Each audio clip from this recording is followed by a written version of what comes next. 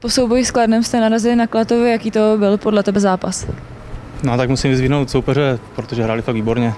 Ani se nevěděl, že včera hráli v Krani, takže mají dva, dva zápasy takhle, ještě teďka brzo ráno, takže musím klobouk dolů, hráli fakt výborně.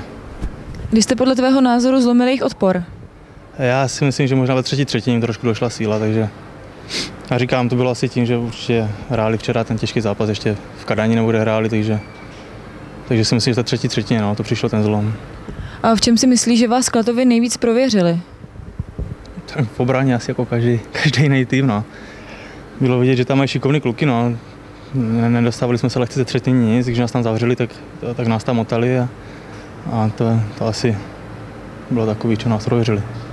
Měli jste tradičně hodně přesilovek, ale z žádné ne- nepad gol. Je to trošku, začíná to být trošku problém, nebo ještě na to musíte zapracovat hodně? A tak ne, začátek sezóny, tak všechno si sedá, jo. Nemůžeme si vymlouvat třeba na led nebo tohle, ale, ale je začátek sezóny, no, a na to si myslím, na to ještě čas, že to začne padat.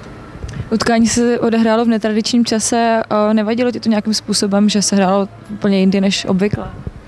O, a mě ani ne. Já jsem přišel normálně jak ráno na trénink, takže u mě se nic nezměnilo, no. Takový další trénink to byl. A v zápase se dvakrát prosadil Denis Hildák. Celkově ta lajna mladíků začíná hrát hodně dobře. Co říkáš na jejich výkony?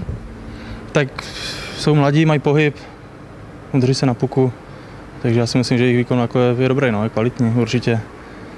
Určitě je potřeba je tady brát jakože, že do, do týmu a tak. No.